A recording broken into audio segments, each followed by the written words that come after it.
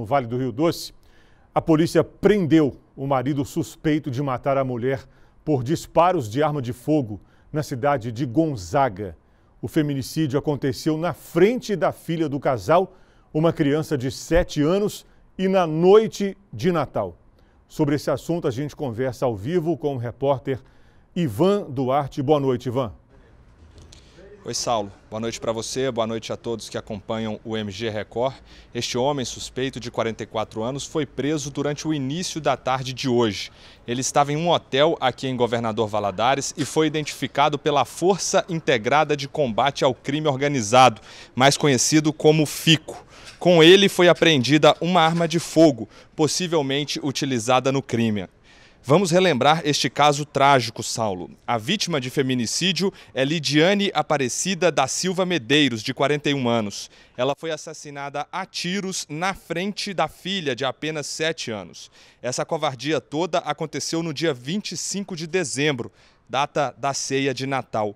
O caso foi registrado, Saulo, na cidade de Gonzaga.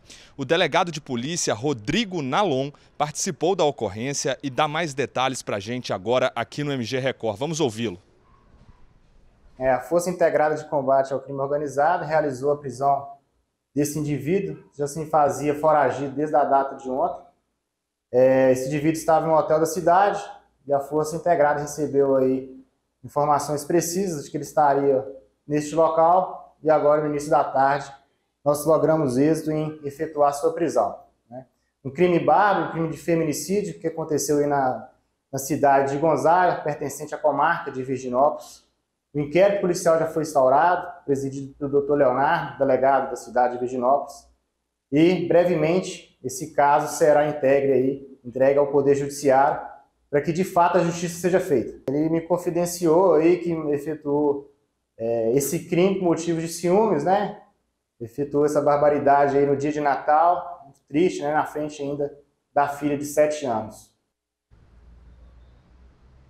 Está aí, portanto, o delegado Rodrigo Nalon. Saulo, a irmã do suspeito de assassinato, disse que ele confessou o crime, deixou a filha com ela e fugiu. A criança também disse para a tia que viu o pai matar a mãe na frente dela. Pelo menos ele foi preso e a polícia agora vai fazer uma rigorosa investigação acerca do assunto, Saulo.